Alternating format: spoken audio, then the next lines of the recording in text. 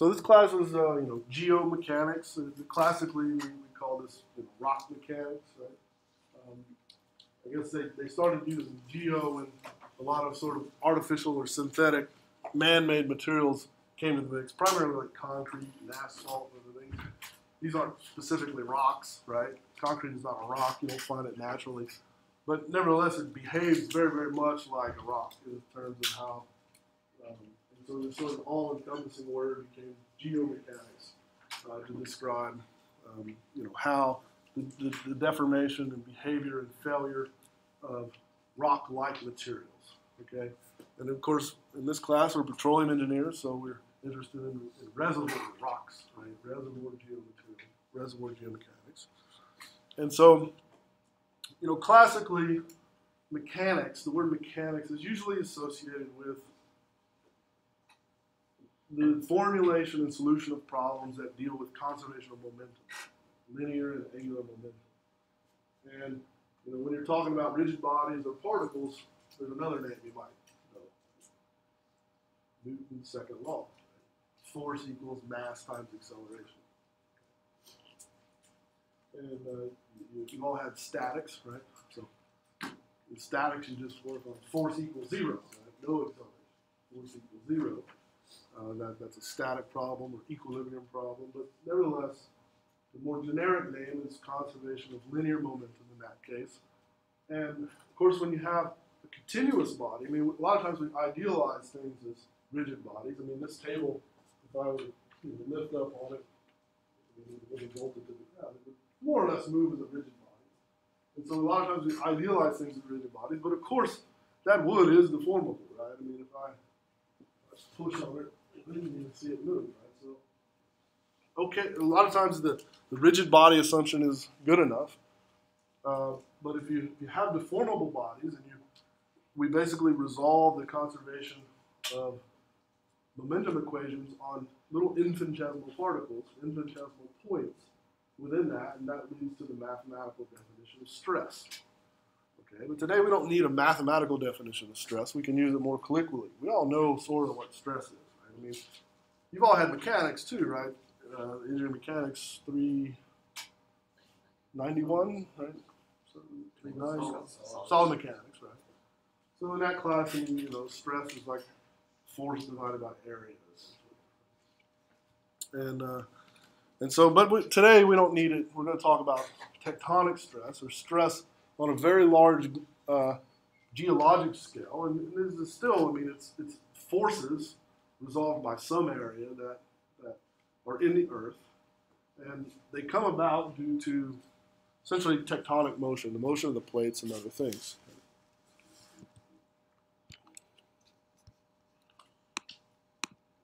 So, you know, why do we care about stress in petroleum engineering? Well, I've got a couple applications.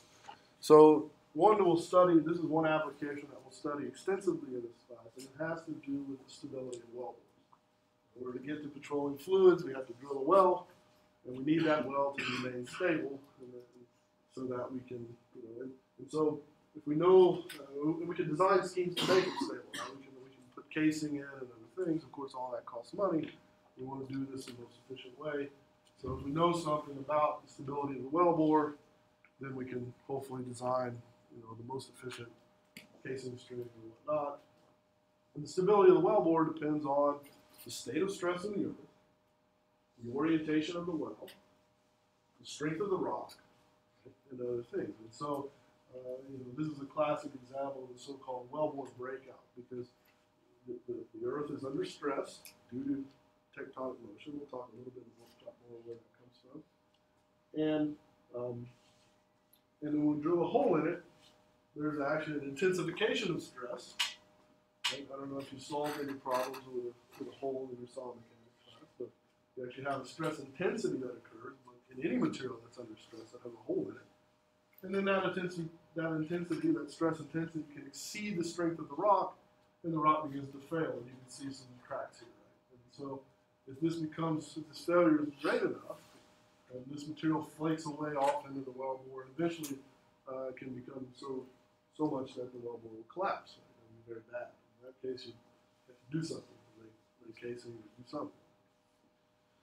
So that's one application where we care about stress in the earth. Um, you know, another another application is uh, we're talking about faults. So faults will slip uh, due to the stress, you know, on the rock, on the fault itself. So essentially, what we're talking about there is the ratio of the normal force, so the, the ratio of the force that pushes into the into this plane versus how much force is acting tangentially to it, and of course some friction, which is a material property of the rock essentially. Uh, those things will govern whether the fault will slip. Of course, in this case, it's drawn using this cartoon where we're talking about a fault, it's like a geologic fault. But of course, we have many tiny joint sets and fractures in reservoirs, and in some cases, uh, making you know, inducing this slip is a very, very good thing.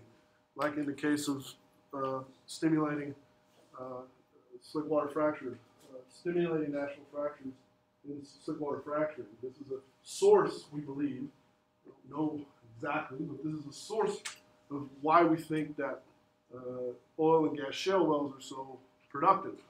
And, and, that we actually, when we produce hydraulic fractures, in addition to that, we stimulate and we cause slip to occur.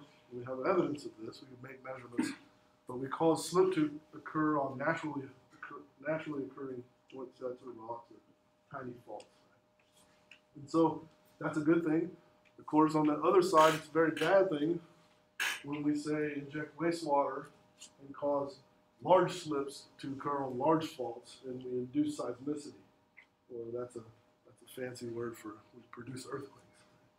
And of course, this occurs in Oklahoma a lot right now, where a lot of uh, wastewater is being injected into certain locations. Um, another thing is that uh, the strength of the rock or the stress in the earth, uh, along with depletion, right? So, you know, rocks have pores in them. That's, those pores contain the fluid we're trying to extract, and as we extract that, right, the, the, the pores themselves actually apply a pressure or add some stability or strength to the rock, right, or, or a, a, force that counteracts the force that's trying to compress the rock. Right? That force comes from the Earth, essentially, and the tectonic motion. That's the stress. Right? So the pore pressure sort of counteracts that. And if you remove that, if you remove the fluid, then what you can get is sort of you know, the pore wants to collapse. And sometimes that can be a good thing. You can get something that's called compaction drive. So you're removing the fluid, the pore is collapsing, which is you're like squeezing a sponge. That's good. Right? But what's bad is it subsides, right? Uh, if we do that to, to an extent, or if you use like steam flood operations in bitumen in Canada, you cause the earth, the, the surface of the earth to subside to the extent that's measurable, right? And if you have structures up there, that'd be bad, right? You want to see a neat picture, look up the subsidence craters that occurred in the Yucca Flats north of uh, Las Vegas, in the, in the Nevada test site there, where they used to do a whole bunch of underground nuclear testing. So there they would set off a nuclear explosion in the earth, create this massive cavity in the earth, and then the cavity would collapse on itself, and the earth would fall in. And if you look at an aerial photo of that part of the earth, there's a bunch of pock marks. It's pretty interesting. Of course, we don't. It's not that bad with the petroleum but you can get measurable subsidence at the surface, and so that's you know something that we want to avoid if we can. So, you know, this is probably a review from high school even, but the Earth uh, is made up of a, this is really not the scale, uh, but the crust is really, really thin compared to the rest of the Earth, right? So the, the, the crust uh, is made up, the Earth is made up of crust, uh, a very, very large molten and liquid phase uh, called, called magma. Magma is, you know, we, we tend to think of it as completely liquid, but it's in fact more liquid sort of uh, it's more liquid near the core and it's, and it's, more solid near near the crust. Okay, and that, that has some implications. And of course, the, the solid iron core and this magma moving around the iron core is what causes the magnetic field um, uh,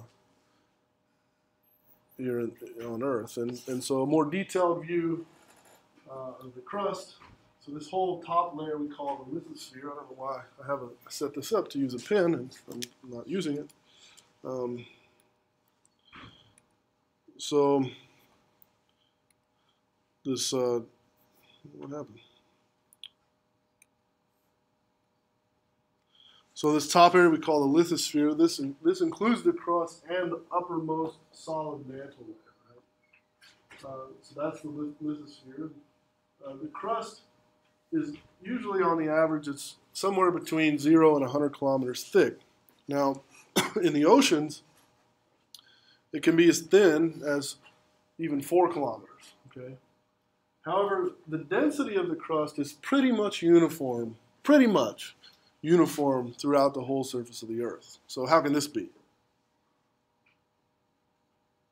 I'm sorry. I didn't. I didn't mean to. I shouldn't say the density. The the yeah the, the, dens, the density of the Earth. Right? The density of the Earth, uh, the, the crust is, is fairly uniform over the surface of the so how, how could this happen? Where it's much thicker in some spots, much thinner in others. So it has to do with the composition of the rock. Right? So oceanic crust is mostly made up of like basaltic type rocks, whereas the rocks on Earth, uh, I mean on the on the continents rather, are, are more granite type. So so the density is fairly constant, although in some places it's not, and that can lead to stress itself. Okay.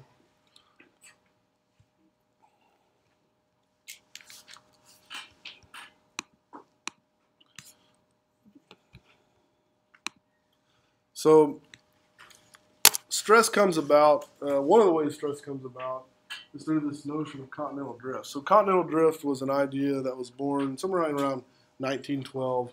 That the idea that you know the, the Earth used to be made of one supercontinent, right?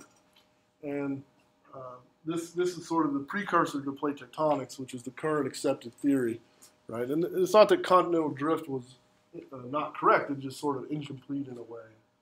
Uh, so the idea that you know at some point the Earth was one supercontinent, and then over time uh, these continents uh, moved away from each other.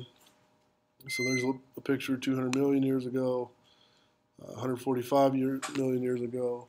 So this is the time of the dinosaurs, and, and, and, one of the one of the ways that we know that, or we sort of uh, believe that this theory, or was partially correct, is that the you know the, the, the fossil records sort of uh, comply with this, and that you know we'll find fossils uh, in parts of the in these parts of the earth that sort of indicate that that was once connected or the same part, and then. Um,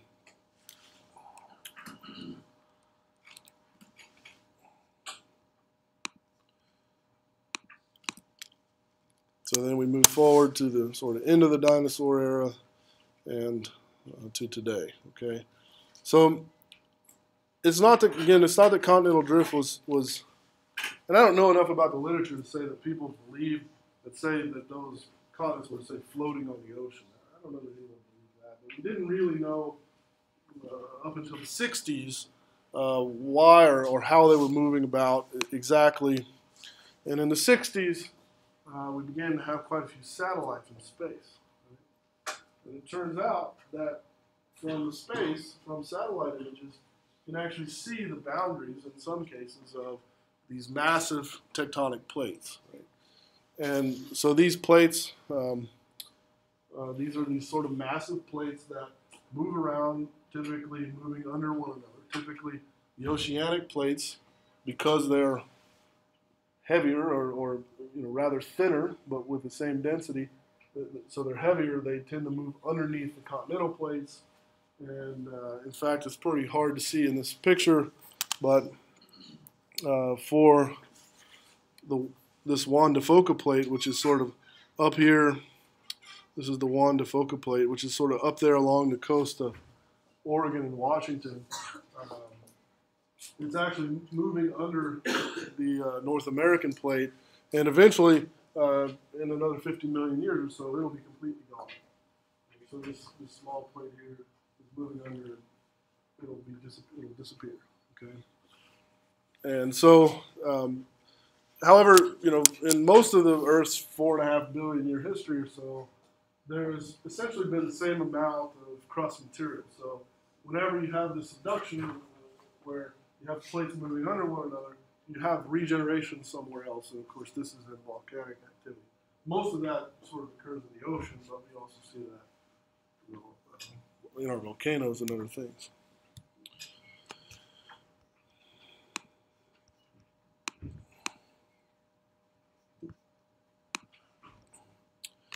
So we have different types of plate boundaries. These are uh, these. This is a characterization of it.